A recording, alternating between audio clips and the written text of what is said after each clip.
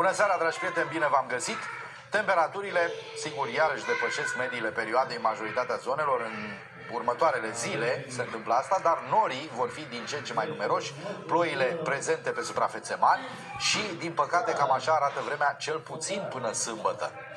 Pe continent, să vedem ce se întâmplă întâi, valorile presiunii nordică și pe partea nord, vedeți, pe toată jumătatea sudică este prezentă o masă de aer ceva, sau mai multe mase de aer ceva mai, uh, mai cald. De mâine, un val de aer cald începe să pătrundă prin peninsula iberică, iată-l colorat mai galben, mai intens aici, o să acopere parțial vestul, se deplasează spre zona centrală și va împinge aerul rece încoace spre est.